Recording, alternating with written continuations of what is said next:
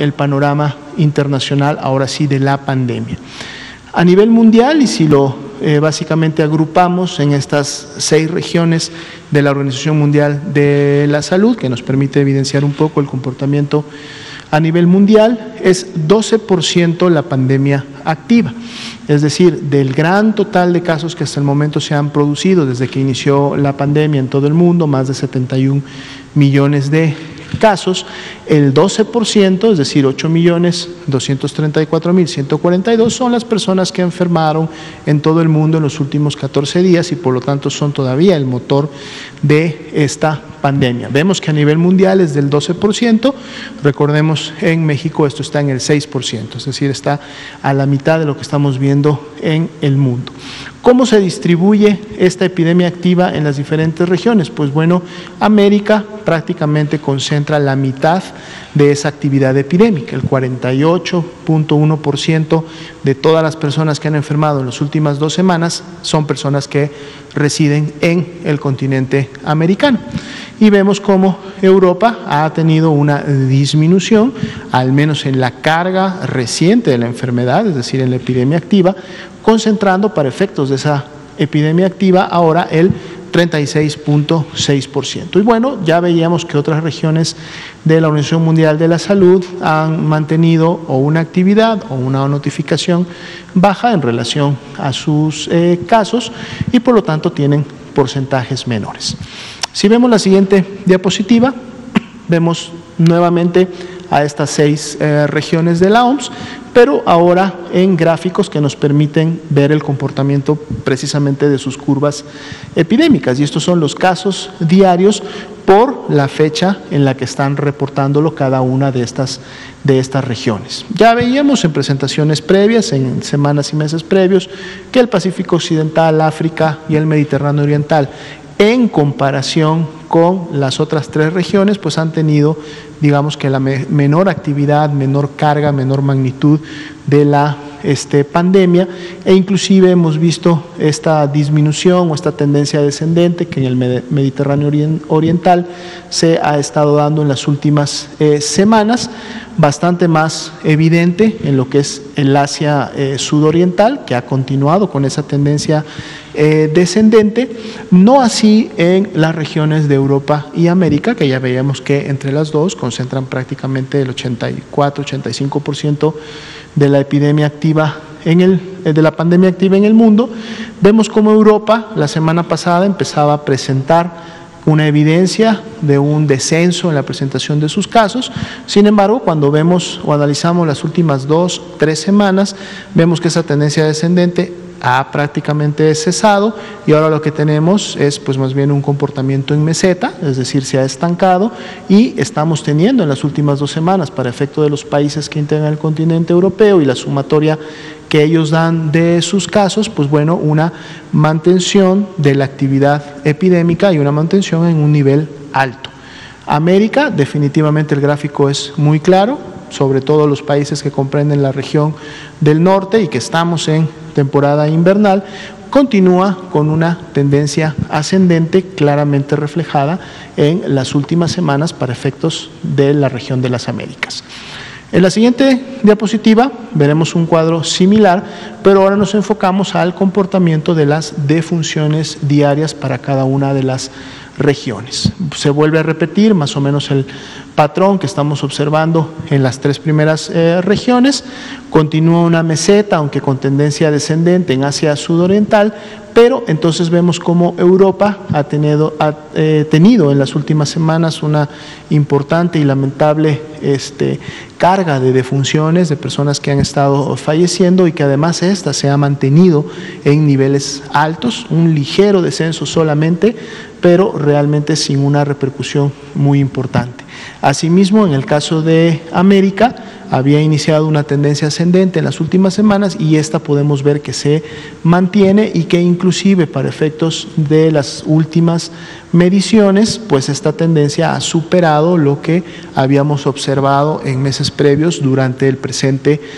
2020 eh, y además, pues bueno, la tendencia apunta a que todavía esto pueda continuar incrementándose en las siguientes semanas. Veamos dos diapositivas más.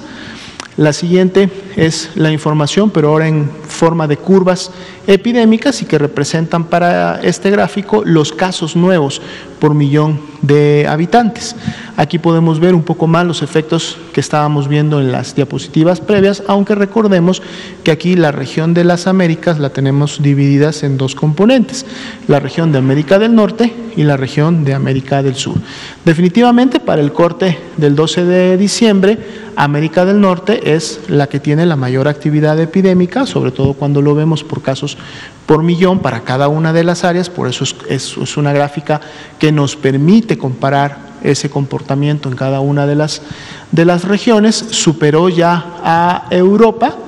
eh, inclusive a lo que Europa estaba presentando en eh, semanas eh, recientes. Sin embargo, también aquí podemos ver cómo en el caso del continente europeo, un poco lo que observábamos en las gráficas previas, ese descenso que, venía, que se venía produciendo en la región europea, pues bueno, en las últimas semanas se ha estancado y más bien estamos teniendo una ligera imagen de meseta, lo cual además pudiera significar eh, la posibilidad o el riesgo de un incremento en siguientes semanas. Así también América del Sur, que venía disminuyendo su actividad, y recordemos que América del Sur están ellos entrando ya a su época, digamos, de verano, eh, enero, febrero, marzo, es, es verano para, para este hemisferio, pero aún así ellos están incrementando esta actividad este, epidémica en las últimas semanas, en el último mes, de una tendencia descendente que venían,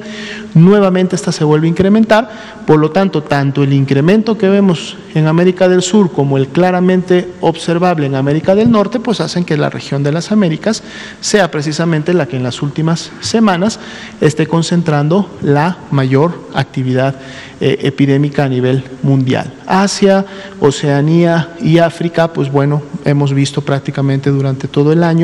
que en comparación con las otras regiones han mantenido una actividad mucho más basal y sin mayores sobresaltos, al menos observados. Y si vemos finalmente la última eh, diapositiva, vemos esta misma gráfica, pero ahora las defunciones nuevas por eh, también millones de habitantes para poder hacer el comparativo. Y aquí podemos ver que en tema de defunciones, lamentablemente Europa continúa todavía a la cabeza en relación a la ocurrencia de las mismas, es decir, a la manera en cómo se están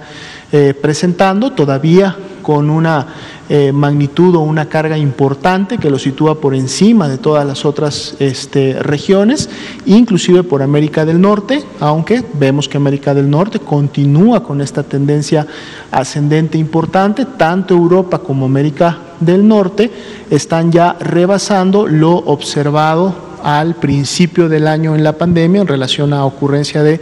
de funciones y además tienen esta tendencia ascendente que pudiera significar que se sigan incrementando en las siguientes semanas. América del Sur, que había tenido un descenso precisamente en los últimos meses en materia de funciones, pues nuevamente vuelve a tener una eh, presentación en eh, fase de meseta, lo cual quiere decir que se están presentando lamentablemente todavía defunciones y de manera importante en las últimas semanas. Esperemos que esto no signifique un incremento en el corto plazo. Y cerramos con Asia, Oceanía y África, que al menos cuando se comparan con las otras eh, regiones, pues bueno, presentan definitivamente una actividad bastante menor que la observada en estas, en estas otras áreas.